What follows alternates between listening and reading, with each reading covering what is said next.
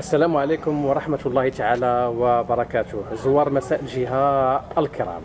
في إطار المواكبة المستمرة للانتخابات المهنية اليوم نزور مدينة الصخيرات ونستضيف سي سعيد الهلالي آه، المرشح للغرفة الفلاحية لجهة الرباط صلاة القنيطرة مرشح حزب الجرار بجامعة الصخيرات والصباح. نعم سي سعيد كما عهدناكم ترافعت في جماعة الصباح وفي مجلس عمالة الصخيرات تمارا عن قضايا الفلاح. اليوم الحملة في يومها الثاني. كيف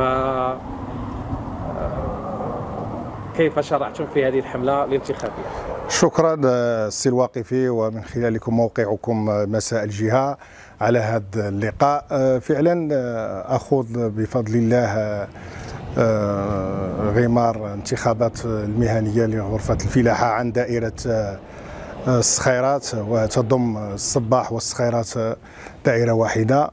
آه، كما ذكرتم نعم أدافع عن الفلاح أنا ابن الفلاح وواحد من آه، المنطقة. آه، وتآثرت أن تقدم من أجل الدفاع عن مصالح الفلاح من مؤسسات تعنى بالفلاح ولا هي الغرفة الفلاحية. إن شاء الله سأكون صوت الفلاح الذي يطمح أن يسمع صوته لدى المصالح المختصة والدفاع عن آه، مشاكله ومن أجل آه، بسطها كما ينبغي وإيجاد الحلول لها.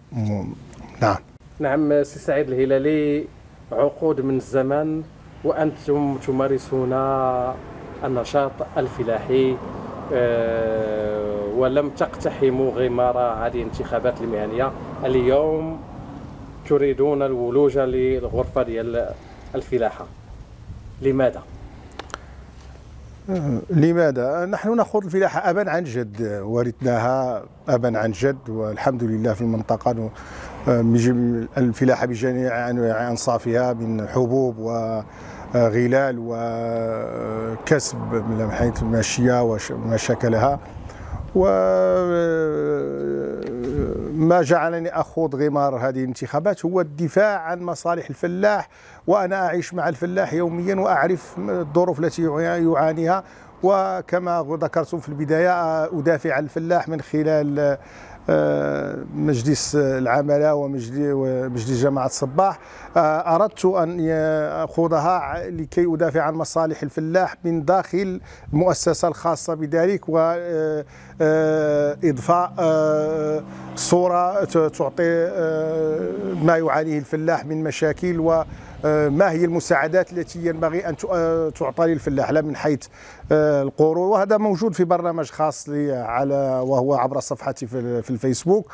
وسأدافع عنه إن شاء الله بحول الله لإسماع صوت الفلاح وإيجاد حلول له آه، وبالمشاور بالتشاور مع الفلاحين. ليس بشكل انفرادي بالتشاور مع الفلاحين وبخروج بخلاصات. وثم آه، آه، إسماعها لدى من يجب أن تسمع لديه هذه المشاكل ومع القوة الاقتراحية للحلول لها آه، وإيجاد صيغة لتطبيق منها ما يمكن تطبيقه أو صياغ أخرى مقابلة للتنفيذ آه، الشاهد أو المهم هو اسماع صوت الفلاح فيما كل ما يحتاجه آه، في لأنه يموت السوق اليوميه باللحوم بالخضروات بالالبان بالفواكه لابد وأن يكون له صوت مسموع يعالج مشاكله ويدافع عنها. آه، وأرأيت ورأيت أن أكون هذا الشخص الذي يدافع وأتمنى أن أوفق في هذه المهمة. إن قدر لي النجاح بها إن شاء الله. إن شاء الله. نعم سعيد الهلالي آه، تأخذون هذه الانتخابات باسم آه، حزب الأصالة والمعاصرة رمزه الجرار. لديكم طرحتم بالأمس برنامجا انتخابيا محليا وعلمنا أن هناك برنامج وطني آه، البرنامج المحلي تحت شعار الأصالة في خدمة النموذج الفلاحي المعاصر هل من توضيح في هذا السياق؟ نعم مجموعة من إذا سمحتم مجموعة هناك برنامج آه، وطني للحزب وأنا عضو أيضا مستشار باسم الأسرة المعاصرة حاليا وتقدمت باسم الأسرة المعاصرة هو حزب منخرطون فيه وحزب العمل وحزب آه، المردودية وحزب الفعالية وهناك برنامج إذا سمحتم يعطينا بعض النقاط حول البرنامج الحزبي الذي يضم مجموعة من النقاط.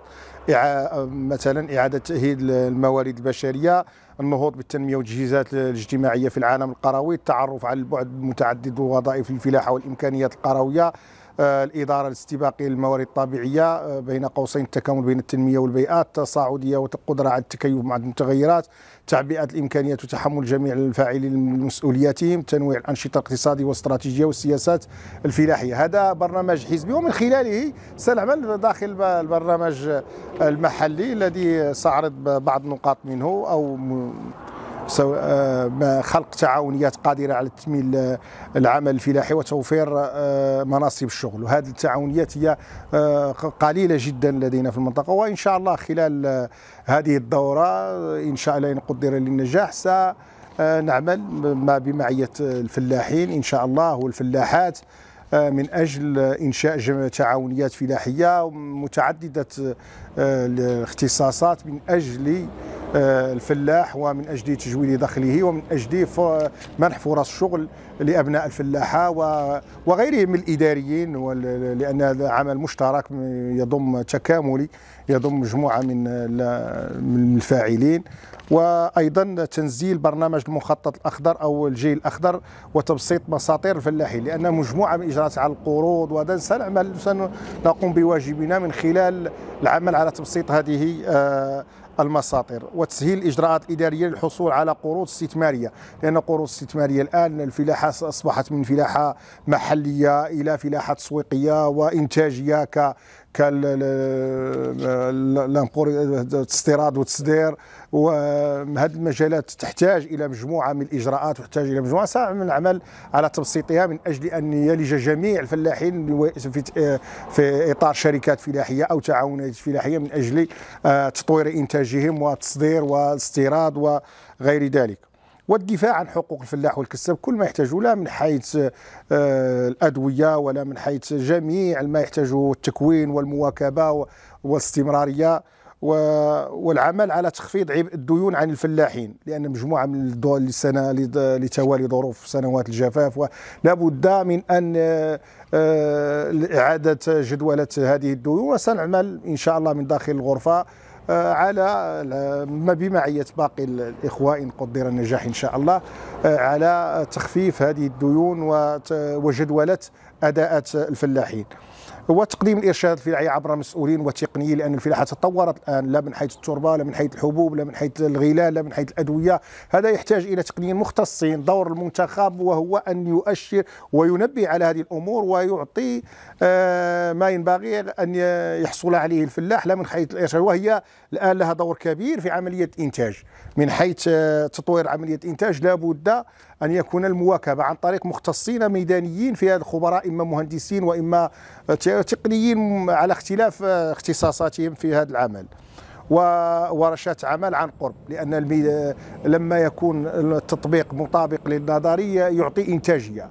وهنا الفلاح لابد أن ينتقل من هذه العملية تكون هذه هذا في إطار المواكبة. لابد أن يكون ما ينبغي استعماله نظريا أن يكون يراه تطبيقيا في ورشات ميدانية. وسنعمل إن شاء الله على هذا بمع في إطار زيارات ميدانية لضيعات الفلاحين. ومن خلالها يكون هذا العمل مواكب لعملية التطبيق إن شاء الله. وتخصيص وحده متنقلة آه، لتقديم الدعم الفلاح إما عن طريق النص وإما عن كيفية آه، آه، استعمال الأدوية وإما عن طريق التلقيح بالنسبة للكسيبة أو مشاكلها. أه تقريب هذا هذا مشكل تقريب الموارد العلفية وجعلها في متناول الفلاح. هذا مشكل يعانيه الفلاح. يقع إما سوء فهم في عملية ديال التقاء نقاط البيع أو في آه، عدم معرفتها أو في آه، أحيانا يكون العلف موجود لكن أين يصل الفلاح؟ هذه سنعمل على تقريب مع المسؤولين على هذا إرشاد الفلاحين إلى هذه العملية عبر إما السلطات المحلية من خلال مساعدتها في هذه العملية أو وسيكون هناك مجموعة من الإجراءات العملية أثناء هذه العملية. إن شاء الله. والعمل على على تكوين ومواكبة الفلاح في أنشطته. الأنشطة بجميع في جميع الأنشطة الفلاحية سواء كانت زراعية أو غلال بمعنى على أن المواكبة هي عنصر أساسي، ليس المنتخب الذي والمنتخب ينبه على هذه العملية المواكبة من أجل أن تكون مستمرة. آه، لأن الاستمرارية كتعطي آه، استدامه في الإنتاج والجودة وبالتالي ينعكس ذلك لا على المردود ولا على آه، الإنتاجية وتجويد السوق. وهناك أيضا مشكل آخر ربما أتطرق إليه في كما ساتطرق النقطة الأخيرة عملية التثمين لأن تثمين الإنتاج يقع في مشكل أثناء شراء الحبوب وشراء تكون الاثمنه مرتفعة لكن اثناء البيع عملية البيع رغم جودة أحيانا آه، المنتوج وجوده يبقى الثمن فهذه العملية يعاني منها الفلاح بكثرة وبالتالي سنعمل على يكون هناك تجويد لهذه العملية. كما هناك دور أساسي وفي نقطة ليست أخيرة ولكن هي جاءت لأن دور المرأة في الفلاحه رغم أنه موجود الآن وبالشكل وصارت النساء لها دور فاعل في جميع الميادين اجتماعيه مسؤولة. وفي أيضا في الفلاحة صارت تشق طريقها كما آه، كالرجال. لكن بشكل لم يكن سنعمل من خلال ورشات عمل وفي إطار التعاونيات التي ذكرتها في البداية على أن تشارك النساء بشكل فعال ويكون لها دور إما إداري في التسيير وإما عن طريق آه، ترأس تعاونيات ولما لا من أجل أن تأخذ بيد المرأة أختها المرأة في هذا الميدان بالتعاون معنا ومع باقي الفلاحة بحول الله. وسنعمل على كل سنعمل على هذا إن شاء الله. ونسأل الله التوفيق لأن العملية آه، العزائم لا بد لها من وعلى قدر أهل العزم تأتي العزائم. وراء كل هذا هذه أشياء قابلة للتطبيق. فقط تحتاج عنصر ديال عنصر من من المواكبة وعنصر التحريك لهذه العملية. وإن شاء الله لنا العزم في أن نحرك هذه الأمور من أجل أن تطبق وتصبح آه، جارية العمل بها إن شاء الله بحول الله. نعم في الختام السيد هلالي ما هي رسالتك رسالتك للفلاح؟ رسالتي للفلاح والفلاحة هو التصويت لي يوم إن شاء الله يوم 6 آه، غشت الجمعة آه، آه، يوم الجمعة 6 غشت من هذه السنة إن شاء الله. من أجل أن نحقق هذا البرنامج والعمل عليه آه، وادعوهم للتصويت لي بكثافه من أجل أن أحصل على هذه العضوية من أجل تطبيق كل هذه البرامج بما معهم وبالتشاور معهم وضع علامه في على رمز الجرار هو رمز حزب الاصاله والمعاصرة رمز العمل وانتاج بحول الله. وأشكركم السي الواقفي على هذا اللقاء. من أجل اختيار أفضل صوتوا على الجرار آه، يوم 6 غشت. وكونوا في الموعد إن شاء الله. شكرا لكم.